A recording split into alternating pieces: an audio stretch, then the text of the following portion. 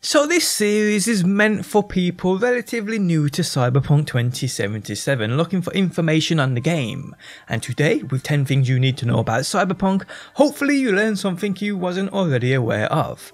Guys, if you're new around here and want to show your support, do hit that like button. If you want more Cyberpunk, make sure you subscribe. Also, I am giving away copies of this game and I'll announce winners a week before the game drops. If you want to be in with a chance of winning one, drop a like on this video, leave a comment down below and make sure you are subbed to this channel. Okay, so 10 things you need to know about Cyberpunk 2077, and these won't necessarily be good things either. But hey ho, let's go! Okay, so to start, this game is nothing like Grand Theft Auto, and yes, for sure, you can go around stealing cars and beating people up. That's very much like GTA, but the core design of this game is very, very much different. Cyberpunk 2077 is a proper RPG, not a wannabe RPG. I mean, GTA 5 has a few of those RPG elements to it, but it isn't actually an RPG in my opinion. Cyberpunk 2077 is, from its structure up, it's built as an RPG. It has utterly deep levels of character customization. It has utterly deep levels of character progression and fine tuning and upgrading. It has crazy amounts of means in completing the storyline to a point of well, you can complete the entire story without hurting a soul.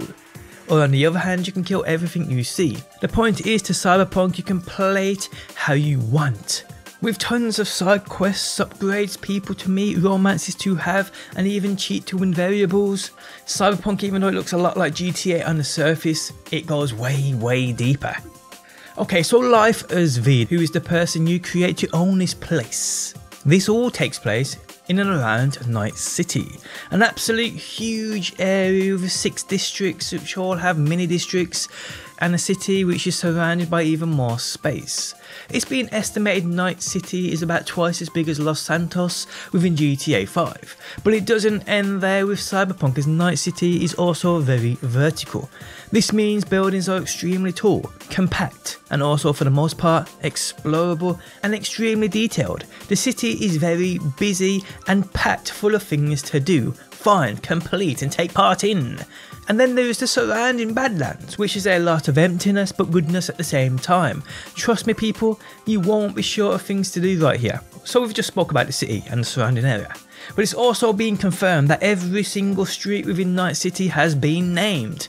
And that's just one level of depth we see in this game. And well, just think about that for a second. Every single street, every single road has its own very name. It's like, wow.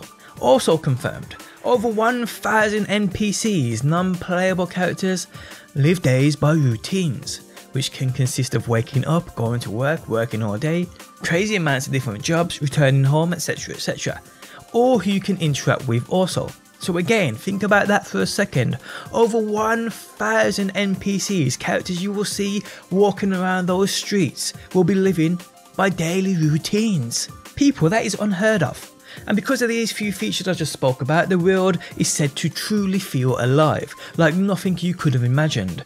The world feels like it's lived in, it feels like you ain't the centre of the universe. It feels like things are actually going on around you, in which you could spend your entire day just watching other people do their thing.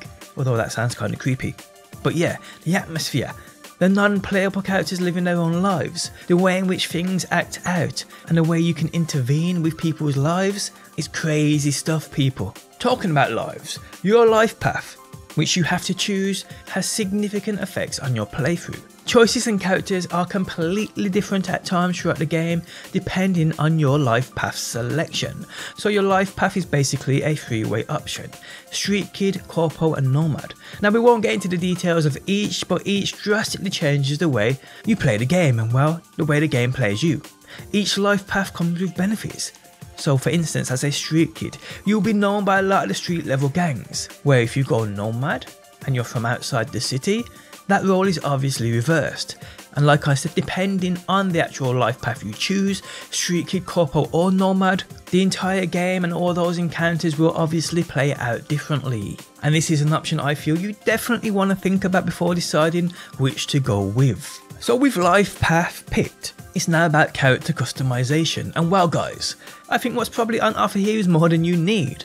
From eye color to genitalia sizes, the game has it all, and I could go on forever explaining what can be done. It is truly staggering, and wow, I cannot wait to see some of your creations and when it goes beyond just general luck, because there's also cyberware.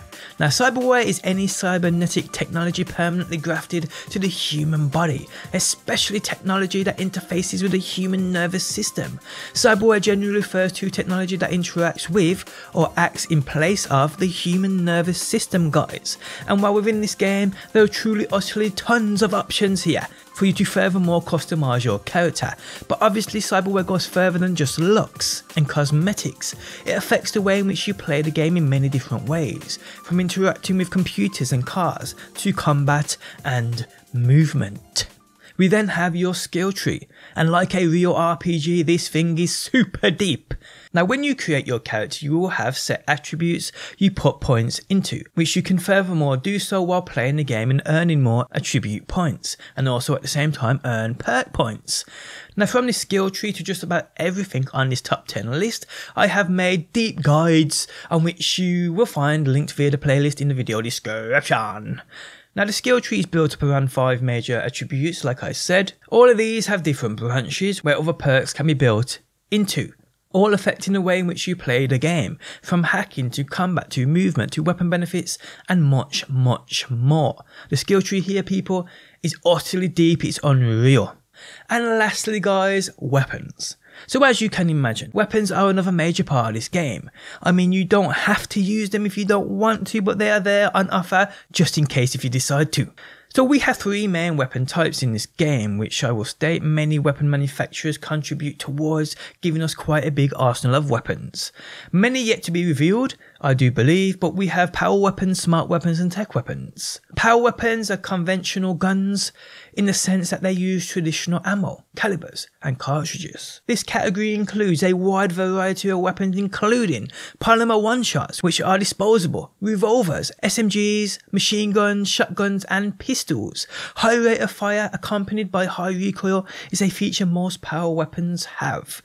Tech weapons are weapons that use railgun technology, firing projectiles that are propelled with an electromagnetic charge.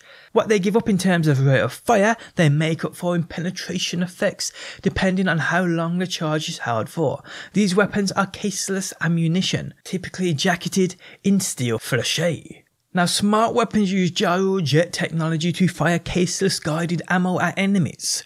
This technology was first developed in the 1960s, but was unreliable during combat. In 2077, they are different and pinpoint accurate. Smart weapons are tied to weapon grips and optics to accurately scan and track movement of targets. People. But yes, it really doesn't end there with weapons because there are melee weapons too, like swords, sledgehammers, and more. Upgrades to your skill tree so you can tear turrets from their bearings and use them. And well, much, much more people as you can imagine. And guys, that is it. The first 10 things I feel you need to know going into or newly learning about Cyberpunk 2077. And this is the first in a line of episodes I will bring you covering what you need to know, getting a little deeper every single time. So guys, if you enjoyed this video and want to see more, leaving a like button truly helps me out and I appreciate that support on my channel. But guys, the end of the video is here. Hopefully you enjoyed it and hopefully I will see you on that next one.